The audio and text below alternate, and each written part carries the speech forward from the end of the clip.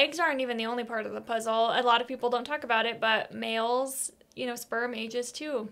Yeah, yeah. I think that like um, women that we we get the short end of the stick, um, and all the pressure is is on us, and that we are the only ones that have a biological clock. Um, but that's not true.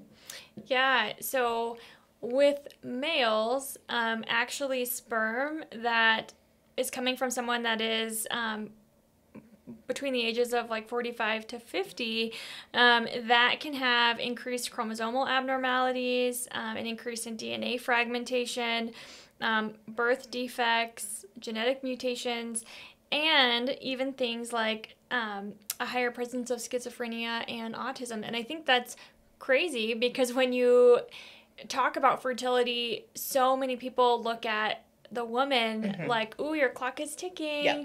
or you know you better have kids you can't have them forever and they look at males as if they can have kids forever Mhm. and you know the quality of sperm does go down